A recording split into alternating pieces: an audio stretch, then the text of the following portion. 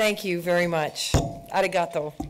It's a great pleasure to be here. Thank you very much, Peter, for that, uh, for that introduction. Vancouver Port, as you may know, is the busiest port in Canada, growing very fast, and growing because in my province, in British Columbia, we have made trade with Asia our priority.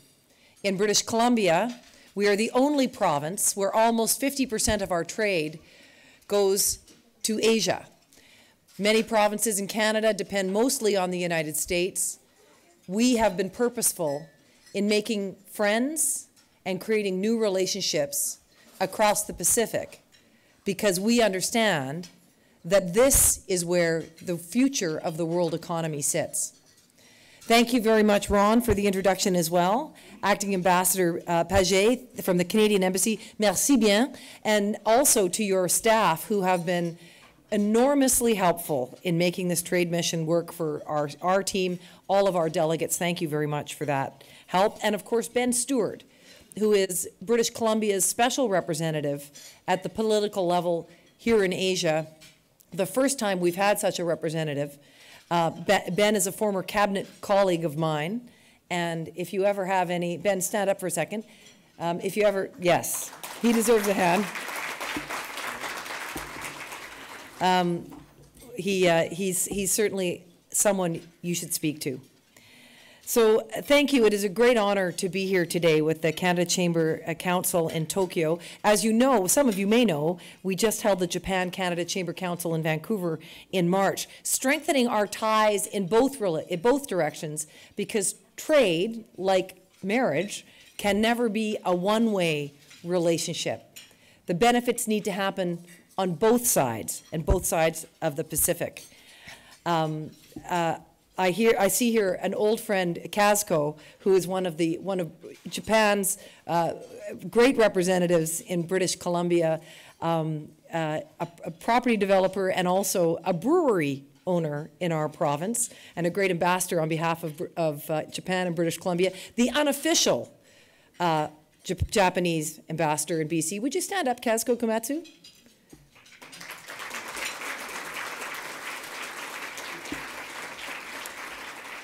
This is, uh, this is my third visit to Tokyo um, since I became premier, and or Tokyo or, and Japan. I've also visited Kyoto, other cities in this country, because I understand how important relationships are. My, I'm carrying on a tradition that my grandfather started in our family when he visited on a trade mission over 60 years ago from Vancouver. Um, he was born to a very poor family uh, his, his father, my great grandfather, came from Scotland. My grandfather was born in a shack on the beach on the west coast of Vancouver Island, the closest that you can get to Japan in North America. And he became a fisherman. And as a fisherman, through the 1920s and the 1930s, he worked shoulder to shoulder with all of the many Japanese Canadians who came to build the fishing industry on our side of the Pacific Ocean. And just like in Japan, as you know, our seas are unpredictable and very rough. In the 1920s and 30s, fishing was an especially perilous job. My father told me stories of how my grandfather's life was saved on numerous occasions on those high seas by his Japanese colleagues, and how equally he, he returned that favor to them. The beginning of a long relationship my family has had with Japan, and my father always reminded me in some way, you should remember to be thankful to those men on the ship without whom your grandfather would not have survived, without whom you would not be here today. So on behalf of my grandfather to the people of Japan, arigato.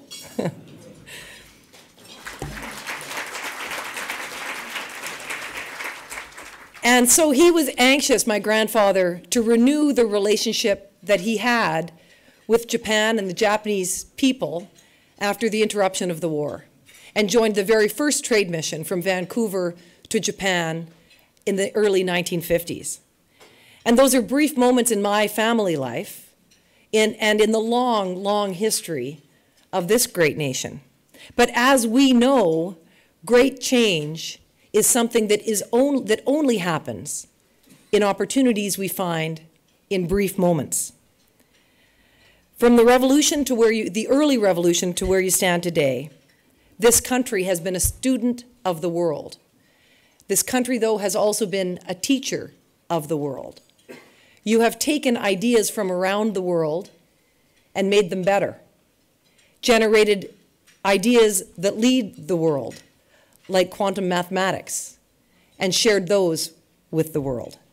And this is a pivotal time in Japan as you, as you revitalize your economy.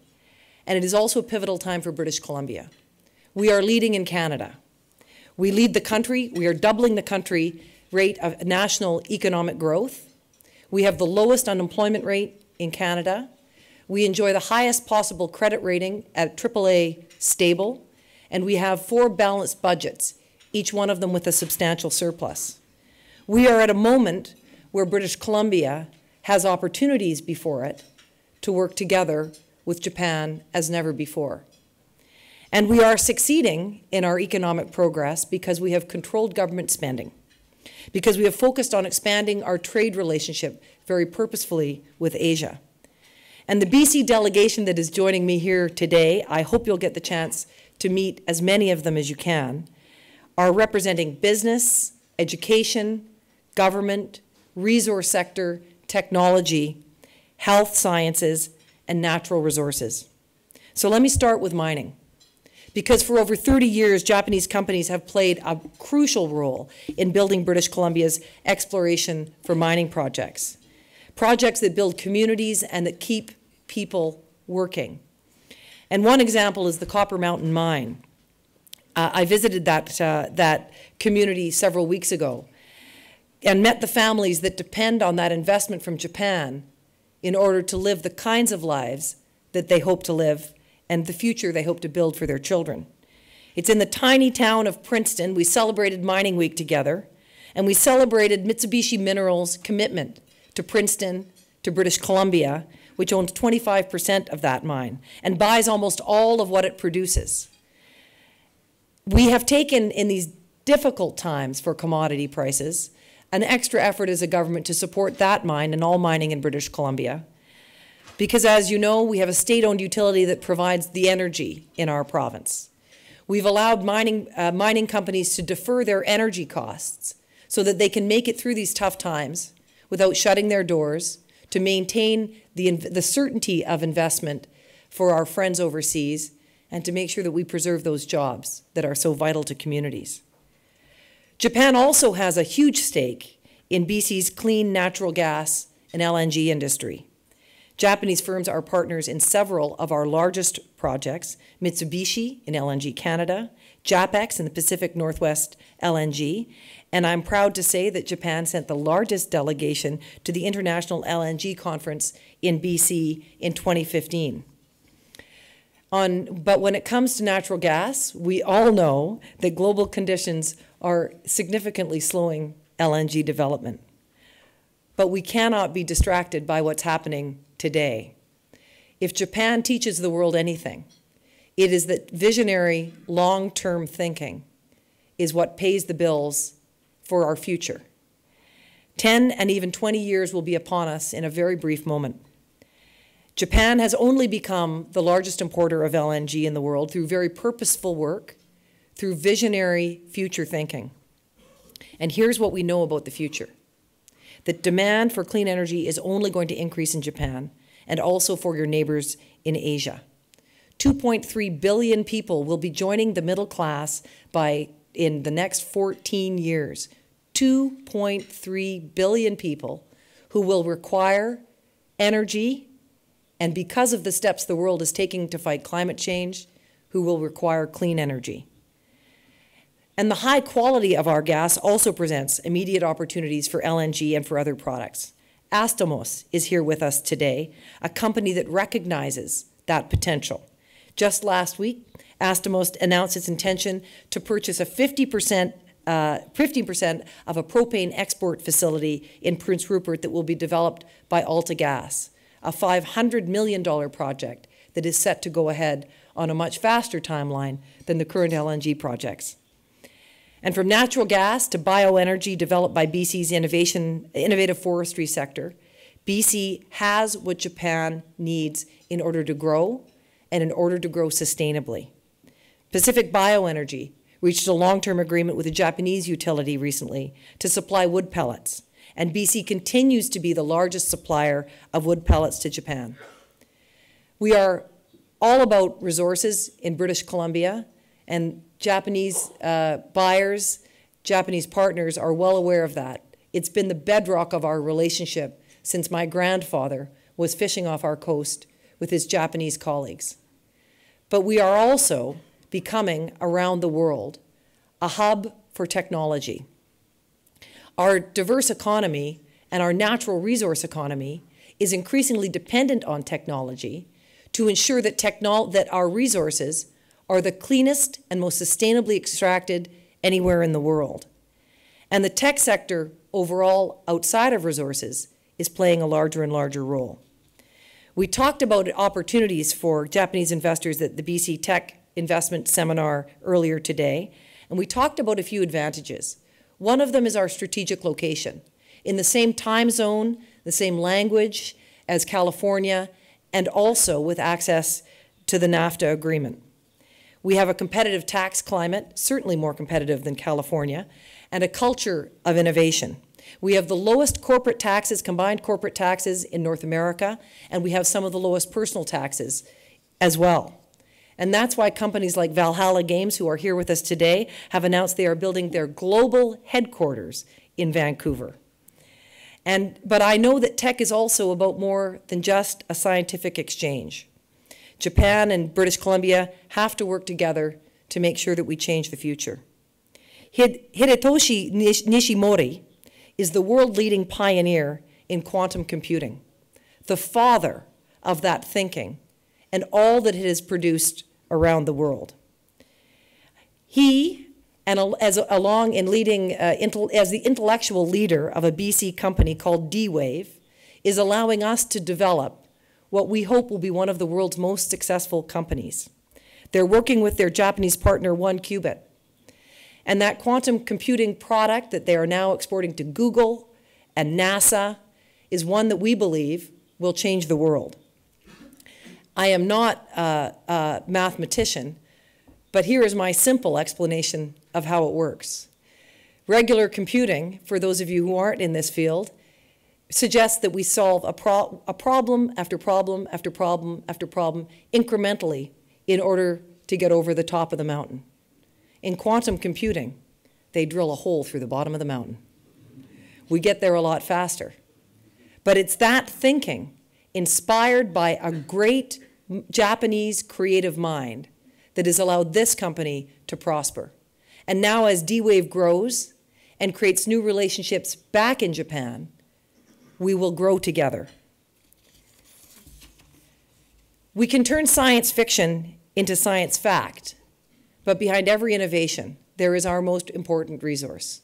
It is not copper, it is not gas, it is not lumber, it is not even a computer.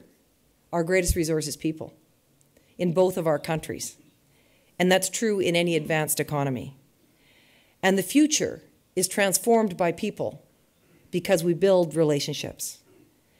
From new agreements that bring teachers from Tokyo to Hiroshima for BC, uh, at, at, at Tokyo and Hiroshima to BC for training, student exchanges, growing tourism and people-to-people -people contact between our homes, to the tiniest BC blueberries that you can now buy in Tokyo 7-Elevens. Our relationship is growing stronger in, across every sector, every single day. And I hope very much that our two countries will continue to grow that relationship by making sure that we confirm the Trans-Pacific Partnership, which is so vitally important for Canada's to, Canada to grow, as well as the Canada-Japan Economic Partner Agreement. Canada only grows because of trade. And while our American friends are talking about building walls and tearing up trade agreements, in Canada, we are very much committed to tearing down walls to welcoming the world onto our shores and to finding our way outside our country to exchange ideas and to build relationships. My grandfather used to teach me um, that the only thing that really gives our lives meaning is relationships, and that the nature of those relationships must be respectful and they must be honest. And that, when we look back at our lives, will be the thing that we look at and measure ourselves by the strength of our relationships. And it wasn't until I went to Kyoto for the first time that I really understood that perhaps my grandfather had learned the value of relationships from working with his Japanese colleagues on those fish boats in the 1920s and the 1930s. I sat with a Buddhist priest who explained to me the meaning of the phrase ichigo ichie, that every relationship matters, that each time we meet, we should treat it as though it was our last. And today, I thank you very much for coming, and I look forward to building a lasting, meaningful, respectful relationship together. Arigato.